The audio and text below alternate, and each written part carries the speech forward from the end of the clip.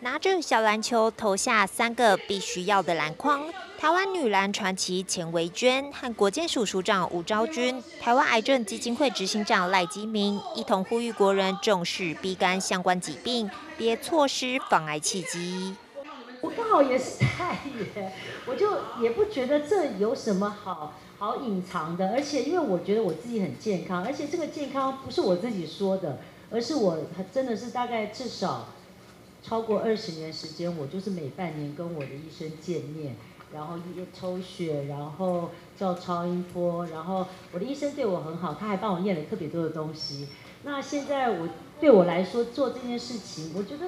很简单很轻松。是因为这一次我才知道了这么多的数字，我才知道我就是这个断层断断层世代的其中一员。但是因为我觉得我其实是一个非常非常叛逆的球员运动员，我在小时候我就是常常去对抗这个体制，就不能染头发，不能烫头发，这些我都我都非常的不遵守。对，但是呢很奇怪，医生说的我还蛮听的，好奇怪。所以我就一路一直到现在，我一直觉得呃就是。呃，固定的追踪做这些事情，对我来说是很稀松平常，所以在这边真的要这个强烈的呼吁哦，真的做这件事情其实真的并不难。那其实 B 肝的防治并不亚于 C 肝，哦，我们从早期的 B 型肝炎的疫苗的注射，到妈妈有这个感染 B 型肝炎以后呢，婴儿在出生二小时都要打胎儿蛋白，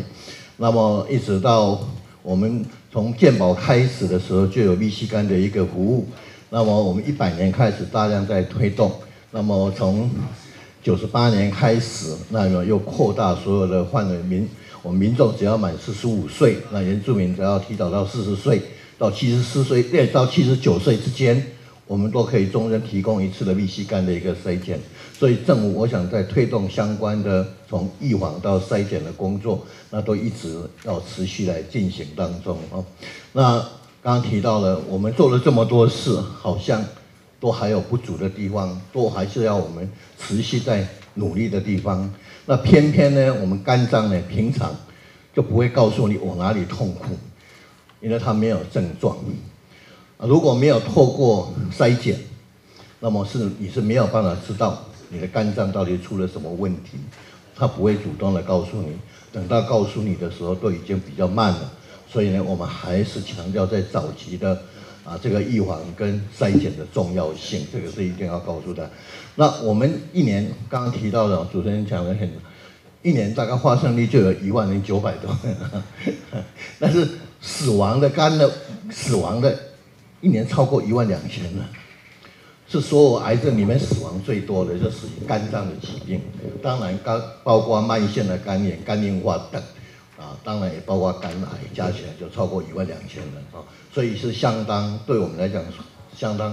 啊重要的一个课题，怎么样来降低我们肝脏的这个损害，能够降低这个肝脏的死亡率。所以呢，在这些癌症里面来讲，百分之八十。都跟 V C 肝感染有关，它是一种感染性的肝炎，所以呢，对于 V C 肝的怎么样预防感染，怎么样能够让大家免于这个感染性肝炎的一个危险？那有了感染，怎么及早找出来，及早去阻断感染继续的发生，让我们肝能够休息，能够恢复到健康，就非常的重要哈。台湾一九八六年对新生儿全面接种 B 肝疫苗后，B 肝带源率降低至百分之零点五，但肝癌仍高居国人第二大癌症死因，每年约有八千人因此失去生命。但医大医院却发现，肝癌患者有高达百分之七十五未曾治疗过 B 肝，错失预防肝癌的良机。啊，但是 V V 型肝炎的比例还是会高。那这些。这些人到底是怎么来的？哈，那，那目前发现这些人都是所谓呃这个这个疫苗断层世代的人。那这些人大概呃这个每每年有超过大概五千到六千人。哦，那每天大概有四五个人。哦，那这一群人，我们再进一步分析，就可以发现他们三层是从来没有救过、救育过，即使我们有这种。啊，所谓的定期追踪的这这个方案，哈，那这些是没有去了，没有去。那七成没有固做固定的追踪或治疗，就有得得这个感染。从国民健康署一百零七年健康危险行为监测调查结果显示，